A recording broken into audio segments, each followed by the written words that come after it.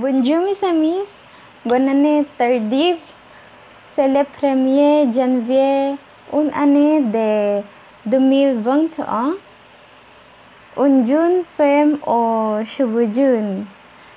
So, in this vlog, it's about myself and I will use my basic learning of French language.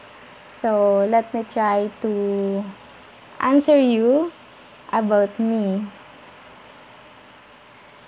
Je m'appelle Joanne Brigado, de Bachelor of Science in Tourism Management 3-6 in Cavite State University, Main Campus, Indang. Je suis étudiant. Je suis né un 26 mai 2000 and j'ai 20 ans. J'aime la lune, les étoiles, les clouds les couches de souliers. And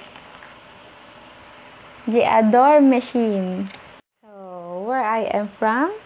Je suis Philippine. And where I live, work, and study? Um, J'habite au Philippines, au Cavite. And je ne travaille pas.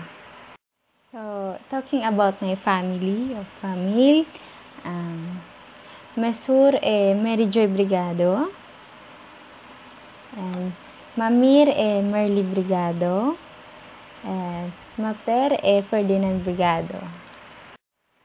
Bonne année tardive and journée mes amis.